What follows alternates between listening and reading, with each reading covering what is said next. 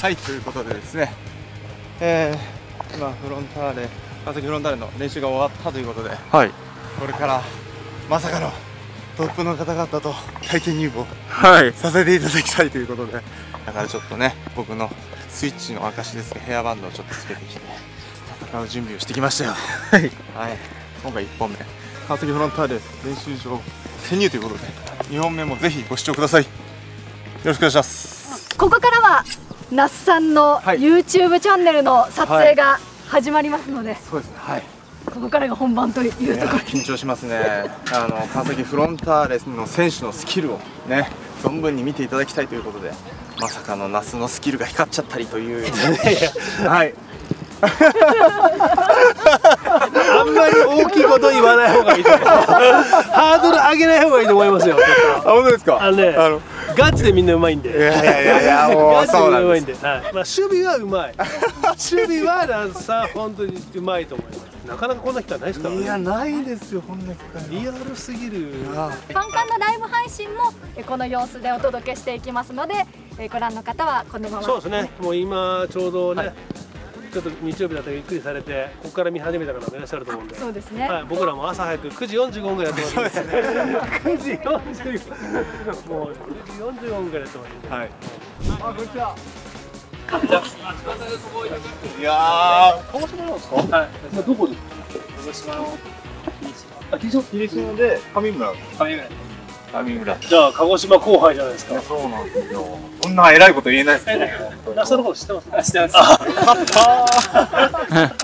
っきねもうまさにずっと立花選手の話して後で家帰って YouTube 見てください僕と那須さんが立花選手の話をずっとしてるんですそうなんですはいあもうあこんにちはうわなんうわ見てもうキラキラしてるみんな。ほら。すごいすすごい。いいよ。はい。ええこれすごい。すごいすごいす嬉しいこんな選手にありがとうございます。ごいガチで喜んでる。ガチあこっちでした。ごめんなさい。ガチで喜んでる。本当嬉しいこれやば生のライブ配信とこっちは YouTube こっちこっちがあのこれすごいからチャンネルこれすごいことだよあすごいあすみませんすごいことです。あのこっちフロンターレはい生配信、はい。さっき脇坂選手に、その那須さんのところには SNS で連絡が来たっていう。い、はい、去年はい。フォローしていただいてはい。でフォローフォロワーの関係性だったのではい。で昨日かなはい。来てくれるの知ってたんではい。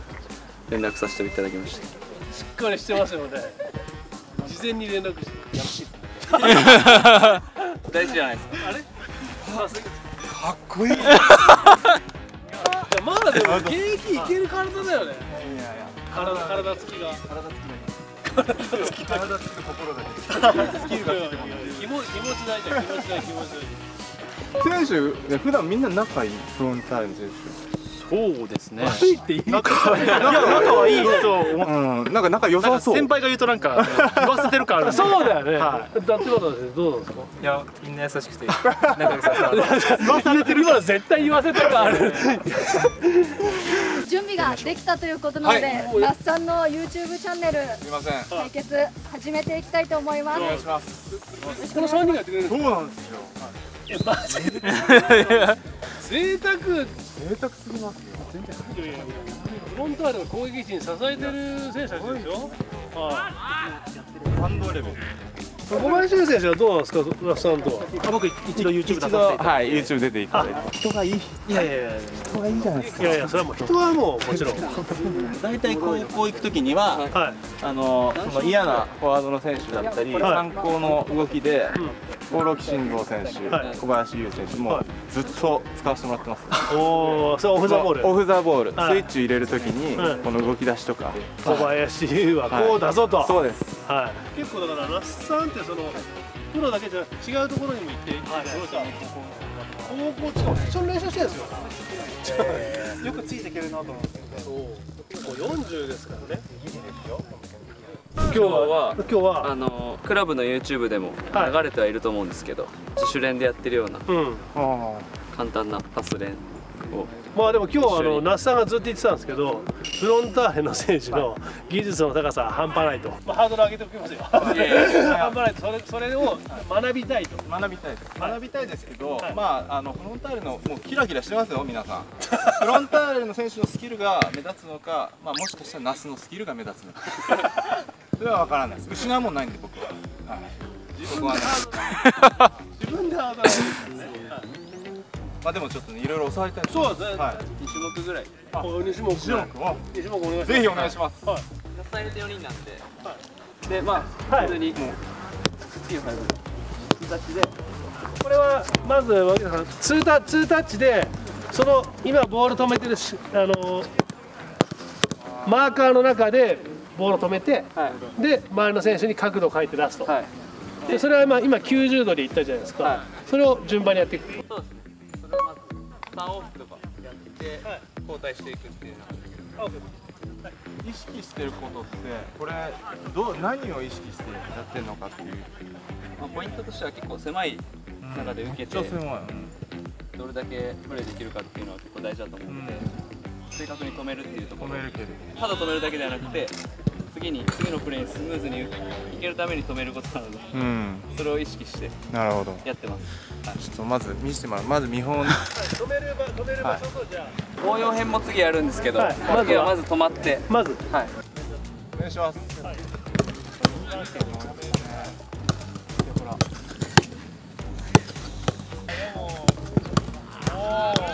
ラスタもいいボール蹴りますね。いやいやい。やでも今の脇田からいやすごい。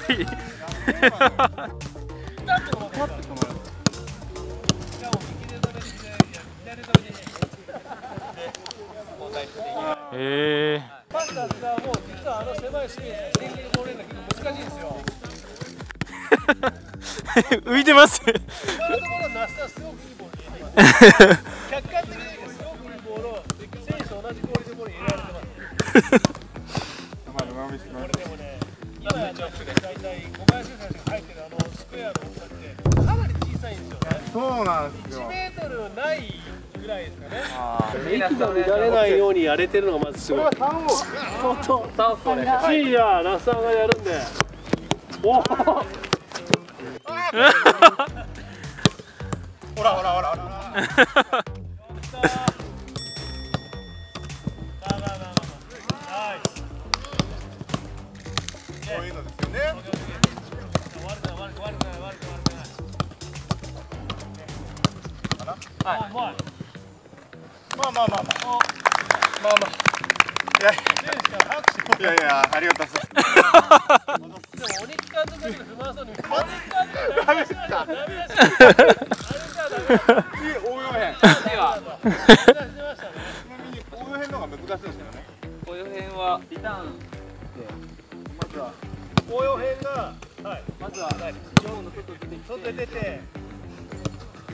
で中でオッケー。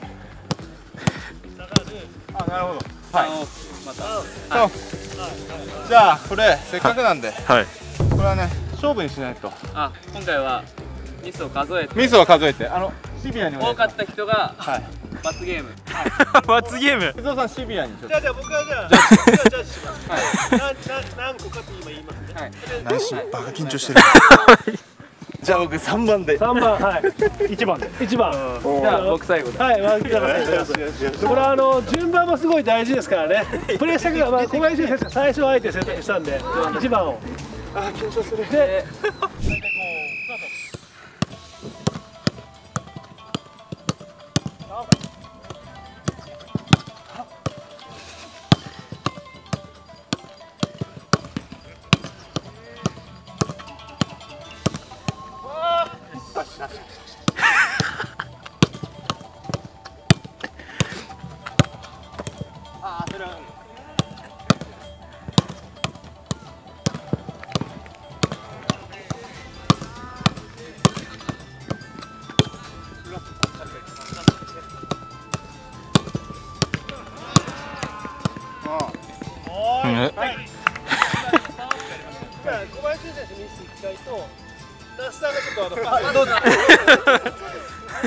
ここ当たりあそこもあるんですここまあまあまあまあじゃあ最初だからねまあまあちょっと最初だから次からはもうダメね当たってダメだよ当たっちゃうもちろんじゃあじゃあじゃあこういうのがまず一回そういうルールがあったみたいですねいや温度さえ入る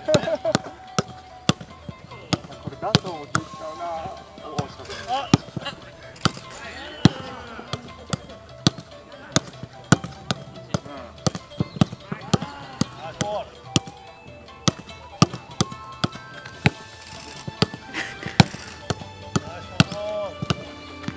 あ、ごめん、やっちゃった。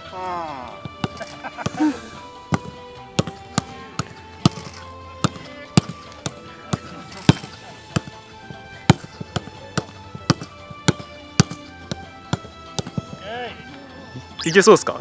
いけますよ誰だと思ってる正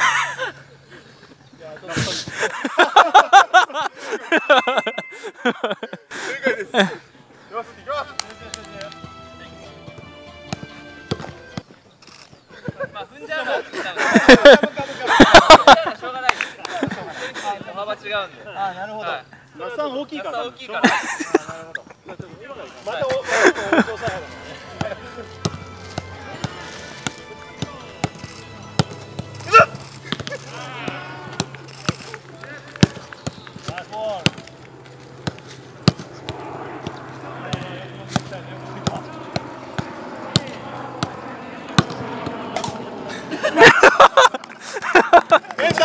stuff.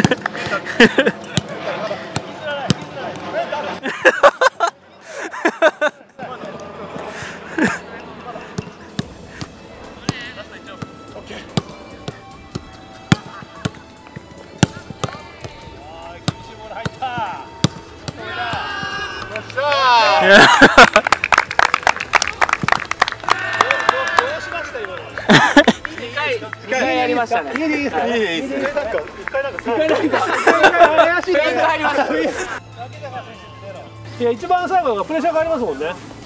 でもどんどん強いパス出してもらって大丈夫ですよっしゃやり慣れてるわ。あら困った。困った。お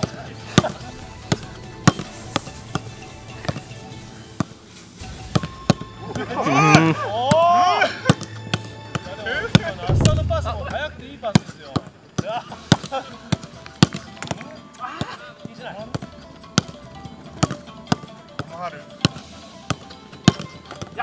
俺がミス。もう一回いきます。止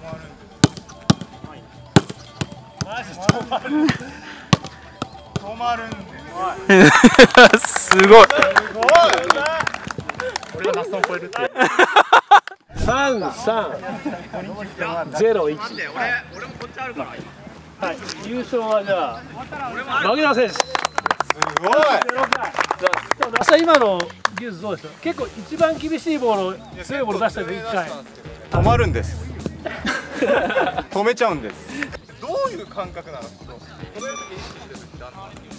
練習でやっぱ自信つけてきたのでその日によってなんだろうフィーリングも違いますしそこで勝負してる選手ではあるのでそこの感覚っていうのは常に研ぎ澄ましてやってはいるんですけどあと足だけでならないっていうのも体全体で止めるっていうのも大事だし止めるだけじゃ意味ないので次のこと考えながらっていう感じです。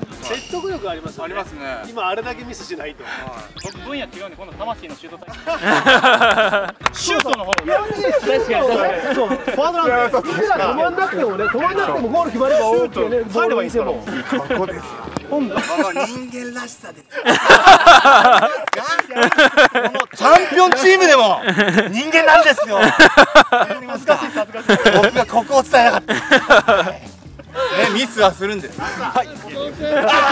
これフロミスはするんです。もうちょっと低くはい。ミスはするんですよ。面白いなはい。でもやっぱすごいですね。やっぱりみんな僕が見ててもそうなんですけどお互い要求してるじゃないですか。しっかり止まんなかったらなんで止められないのみたいな、うん。そういうところも見られててプレッシャーかかってて止めなきゃいけないっていうのも、そういう影響してますか、そうですね。やっぱ最初このチームに入った時にはい。そこが全然ずっといる選手と違ったのでそれでいい影響を受けれたらなっていうふうに思います。脇永選手から見て立花選手、まあ、最近試合も頻繁に出てますけど。健太はずっと自主練もただやるんじゃなくて意識してやるっていうことが一番大事だと思う、うん。こういった練習も練習のための練習にしないというどうやって試合に生かすかっていうのを考えれて健太はやれてるのでうん。それはやっぱ試合でも出てますしそういうのは感じます。実際小林選手も入ってきて技術が上がってきてると感じます。いやケントに多分一番前から見ろって多分僕僕一番ケントに言ってるんで,、はで本当に最初はやっぱ見れてなかったんですけど、うん。やっぱ止める技術が上がってきて、前を見る回数がすごい増えてきたのでもう守備とか運動量も完璧なんでうん、これはどんな選手になるのかなってすごい楽しみです。ね、うん。はい。どうですかそうこういうことたまにしか言ってくれないじゃないですか。みんながいる前だと言ってくれるじゃないですか聞いてどうですか。いややっぱすごい嬉しいですし、まあ、もっと頑張って、まあ、少しでもこういった選手たちに近づけるように頑張りたいなというふうに思います。大丈夫です。近づいてるんです。大丈夫なんです。あの正確なんでそのまあ出してじゃないどっちかっていうと2人はで受けて。でその結構フォワードの選手でそのどういう選手が怖いですか？とかなんかいろいろ聞かれるんですよ。い各カテゴリーで。でその動き出しやっぱば抜群じゃない？出し手としてもやっぱ出しやすいでしょ？でそこのな何を意識してこう受けるタイミングだとか動き直すとかさそういう駆け引きをしてるのかっていうのを思考的にはどんなこと考えてるのかなと。思っていやでも出し手がいないと本当に成立しないので、うん。やっぱり練習からすごくあの今の見えなかったとか、うん。今のタイミングどうとか、うん。すごい話し合ってて、ボール持ってる選手がいつ止めていつ出せるかっていうタイミングを逆算してうん。動き出してるんで、ん。出せない時にどんだけ動いたってやっぱ意味ないので、うん。出せない時にやっぱ相手と駆け引きして、出せる瞬間に背後を取る。もうそのタイミングがやっぱ一番大事かな。と思います。あとは小林選手はその今言ったタイミングを測ってるんですけど、それを何度もやり直してるんですよね、最初ダメでも次これ次これって常に準備してません？何度もタイミングずれてもそのタイミング合わせることをし直してますよね能力があれば多分そんなにやらなくていいと思うんですけどやっぱりスピードが特別あるわけじゃないですし、相手との駆け引きだったり、まあ、そのフライングじゃないですけど先に動くことでやっぱゴール決めてきたっていうのがあるので、まあそれを怠るとやっぱやっぱり点は取れないのかなと思って深いですねやっぱり。2人に聞きたいんですけどこの360度センサーみたいな目がたくさんありますみたいな。俺どっちかっていうとボランチやってた時はパスゴーは僕90度しか見えなかったんですよパスして相手に隠れる。パスゴーう。まい選手に。フロンターレ怒られますよそれはうまい選手にパス出してこう隠れる。そしたらもうあの打開してくれるんだよ、ね、上手い人が。人が密集するとどうしてもなんかあ慌てちゃうじゃない。そこをどうやってこうなんていうの？スキルを磨いてきたのとかどういう感覚でやってんのかって2人に聞きたいんですけど。ディフェンダーによっても、ん。なんだろう守備範囲とか取りに行ける距離感って違うと思うので、ん。ゲームに入って数分でその距離を見極めたりとかもするのも大事だと思いますし、どこまでついてくるのかとかも大事だと思いますしあとは真後ろにあんまり置かないようにしたりとかして、まあ、あえて前に目の前に立ったりする時もあるんですけど、うん。極力真後ろに立たないようにして角度つけることによってうん。取りに来たタイミングで動いたりとかできると思うのでそういったところは意識してます。うん立花田選手えーやっぱり体の向きっていうのを意識してて、まあ、最初このチームに入った時にそれができてなくてやっぱ失うことも多くて、まあ、最近はそれが少しずつできるようになってきているのでやっぱ失う回数も減ってきていると思うので、まあ常に体の向きは意識してます。その体の向きっていうのはどういう向きなんですか？次行こうとしてる方に体を向けた方がいいのかそれともあえてそっちには向けずにもらう瞬間に向けるのかとかそういうところはどうですかえーやっぱディフェンスからもらう時にうん。こうまっすぐ向かないはい。で角度こうつけたりとか、まず角度つける。まあ、次にパス出しやすいところに体をちょっとこっちに出したかったらちょっとこう作るとか、うん。そういうのを意識しながらやってます。ありがとうございます。めっちゃ嬉しそうじゃんめっちゃ勉強嬉しいっすもん伝わるかな？伝わりますか？本当に 僕僕那須さんのタイプのどっちかというとメンタルのタイプなんで。ああメンタルタイプですね。そんなメンタルのお二人。あ罰罰ゲームどうしますかっていう。もう一回じゃあ対決する最後。もうミスするまで。あいいですね。どっちが長くできるか。これが勝ったらじゃあ視聴者プレゼント。ああそれで視聴者プレゼント、えー。しかもみんなの背負ってください。はいはい全然いいですみんなえー。背負ってください、はいで僕が負けたらまあ今はちょっと無理なんですけど好きなとこ連れてます俺も俺もマストで約束します。こんな豪華なことないので各ユニフォーム購入します。三人分。ね3人分。サインもらって。サインサインもらって。めったにないですから。確かに焼肉いらなかったんじゃないかっていう。じゃあじゃあ俺も一緒に行く俺が払うよ俺が焼肉は俺が払うから。そうですね。僕はユニフォーム五人分払うから3人分の購入してサインもらって視聴者マジ本当負けちゃダメだよ。結構食べるから。哲夫さんの思いを背負ったので。思いを背負った中は強いですよ、美味しいとこに行こう。あ美味しいとこに行こてう那須さんがちゃんとこの四角の中に入ってきたのを四角の中で止めて返せば OK 力ちょうだい。力ちょうだい。本当俺が払うんだからああそうです。本当頼むはい OK ですはいじゃあ行きましょう。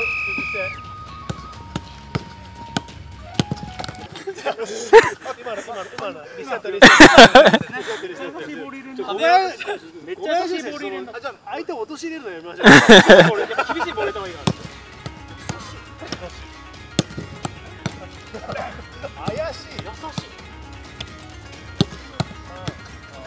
これノックねあ危ねよし気持ち。OK なんですね気持ち。これ気持ち。これどうですかこれだからアウトじゃなくて俺が払うのも基準もう 3? 破壊したらダメですね。あじゃあ破壊はなし。破壊なし。破壊もはい。もうマーカー破壊はじゃあ自分のせい。マーカー破壊は自分のせい。破壊した時点で負け。負けね、はい。まあ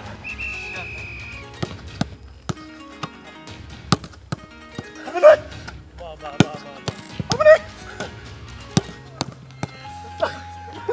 すげえ緊張してきた。わ。しっかりはい、すげえ緊張してきた。はい、一応しっかりめに言ってください。しっかりめで。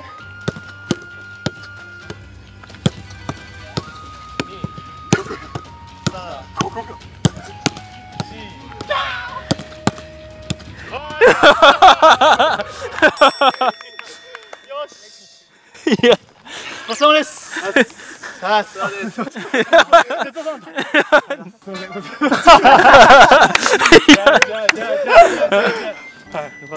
ことで。あでも、はい。ダメだよやっぱり自分も失敗したんだから、はい。自分もユニフォーム買って、はい僕も買って。はい僕は焼焼肉屋さんで払うから、はい。でサポーターの方々にプレゼントするゼントっていうことで。そそれはちゃんと、はい。この3人の購入ユニフォームを那須さんが購入して購入して本人たちにサインをもらって。サインをもらって3名の選手のはい。はいサインをもらって視聴者プレゼントということで。でもちょっと本当に俺は個人的には負けん。お前らには負けん 負けたんです。負け。負けたんです。気持ちは負けてない勝負は負けた。勝負は負けました。けど、はい、気持ちは負けてないいやでも素晴らしい技術をね見せていた。だいた。んで、本当ありがとうございました。すみません本当ありがとうございました。ありがとうございました。ありがとうございますフロンタイルの選手と勝負させていた。だきた。いので、まあ、ちょっとドリブルタイムアタック的な5人でやって2勝したらあ僕いいですね。勝ち。おおそれいい。